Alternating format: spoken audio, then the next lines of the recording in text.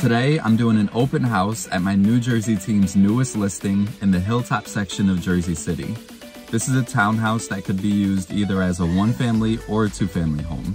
It has four bedrooms and two and a half bathrooms, and the ground floor has its own separate entrance. For anyone who commutes into the city, this townhouse is located just less than a 10 minute walk away from the Journal Square Path station, which then gets you into the city in about 15 minutes depending on which stop you're going to. The townhouse is also located near downtown where you have plenty of bars, restaurants, and shops. Now let's go inside and take a look, but before we do, please hit that like button and subscribe to my channel for more videos where I give property tours and real estate advice.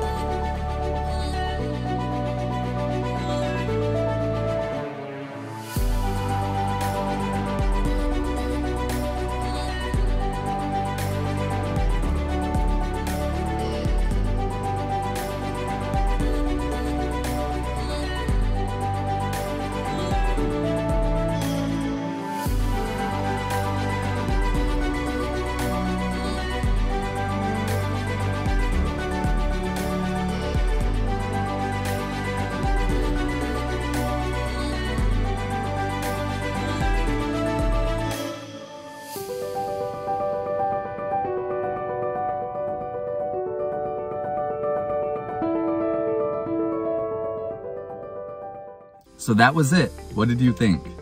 If you know anyone who would be interested in this townhouse, please reach out to me and let me know. I'd be happy to give a private tour. If you like this video tour, please give it a thumbs up and subscribe to my channel for more videos and I'll see you in the next one.